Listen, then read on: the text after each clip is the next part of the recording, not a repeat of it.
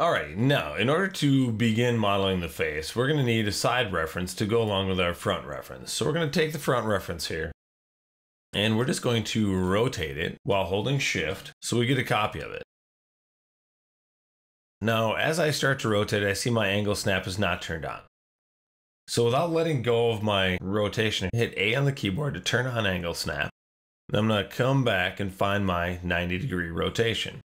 So I want to copy not an instance because this is going to actually be changed. The size of the plane is going to get adjusted a little bit. So we bring that over to the side. We're going to go to our material editor and we're going to create a new standard material. So we can click here on the little radio button, grab a bitmap, and then we want to grab the shaded side view. So then we're going to drop that onto our selected object and tell it to show on the viewport. Now, as I see here, because it was copied from the background image, the UV map goes all the way side to side. Well, the height is accurate, but the side to side is not. So in our UVW map, we're going to go to bitmap fit. We're going to grab that same side image, and it's going to basically tile it across there for us. So we're going to go back to the plane. We're going to drop the width down so we don't see all those repeated images because we just don't need them. We go back to the UVW map level, and then we can move him forward. Now as we zoom in though, we're gonna see we've got quite a bit of detail missing from this image. It's really low res. And we didn't care when we modeled the musculature because we could see enough of the background image that it was fine. We didn't need it to be perfect detail. So we're going to go here to shaded, we're going to go down to materials, and then we're going to turn on realistic materials with maps. And you're going to see that that's going to clean up that image considerably. So now as I model the face, I'm going to have a lot more ability to match up those details more accurately. So we're going to model the face in a pretty similar way to how we modeled the body. We're going to start with a single plane and we're just going to keep pushing edges around until we get it where we want it. So for this, I'm going to start with a much lower resolution plane. Right, we're going to start with just a one by one. Now, we can look at making some adjustments before we get any further and get it into position. On this face, I see this half, so I want to move this over. So I'm actually modeling the half of the face that I can see in this viewport. So if I start to work here and find that things aren't perfectly lined up, I may have to make some minor adjustments to figure out where our faces are going to be when they do line up. So we're going to keep our front reference here as our main. And I'm going to go ahead and right click and convert this to an editable poly. Then I can start working with edges to shift drag them around and rotate them. Get out of working pivot and we're going to change this to the pivot center. And then we're just going to keep moving that. So we can actually go back and rotate these slightly. What I like to think about as I'm working around the eye is basically all of these edges should fundamentally be spokes that point into the center of the eye structure. Now, it's not an absolute, but the more I actually pay attention to that and continue to make sure that I rotate that edge as I go around, I'm going to make sure that the flow of geometry goes all the way around that loop. And once we need to add some detail to the eye structure and or any other part of the face, we're going to want to have those loops actually flowing around the mesh correctly.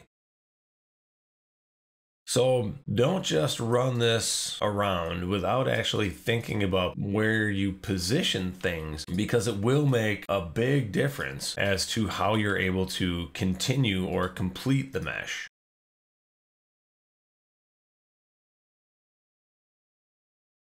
So as we move and rotate around, we're going to get to a point where we really can't connect anything without using the bridge tool.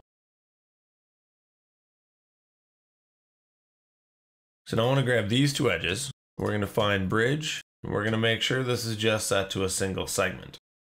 So that works great. Now we're going to go into vertices here and we're going to use just a little bit of soft selection to grab a little more along the side of the eye there. And then we're going to use our side view to start pulling that back in space.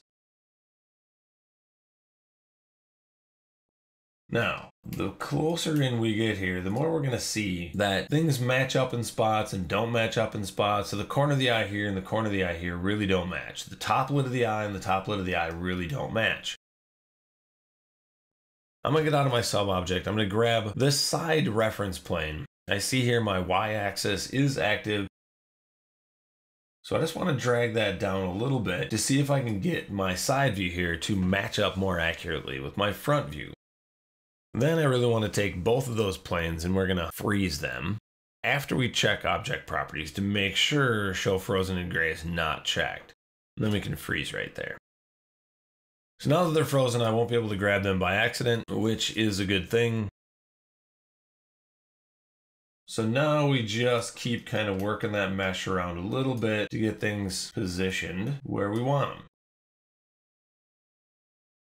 So now I want to grab and keep moving things around to round off the structure, knowing where some of these things go and knowing that some of this is going to be tucked back into the mesh in the corner by the nose. That's actually going to work out pretty well, but we've got way too much transition here, so we're going to bring that back. And this whole inner edge here should be a little farther back.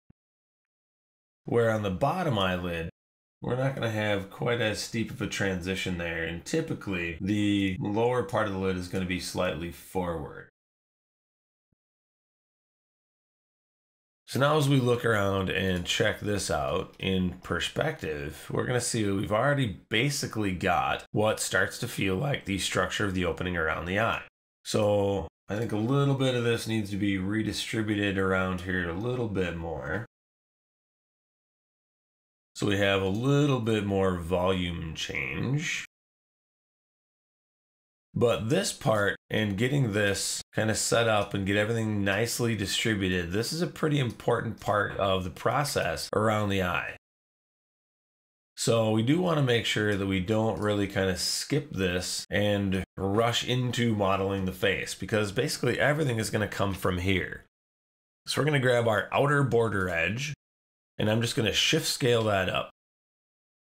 Create a new set of polys around there.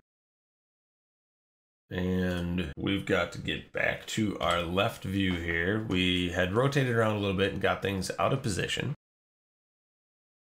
So now it's a matter of reorganizing what we just scaled to make sure that we maintain that flow. Now here in the side of the face, I'm to narrow this a bit so that it doesn't have to push back quite so far.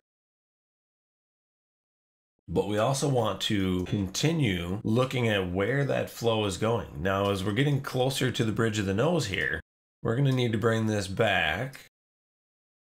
And then we're going to have to take these two and actually start to bring them forward. So as we're getting more into the structure of the face, know, the more we understand about the structure of the face, the more easily we're going to be able to model it. So again, we look around in perspective, kind of get an overview of what's going on. And then again, back to border to grab some more of that. So next, we're just going to keep working out around that eye a little bit farther.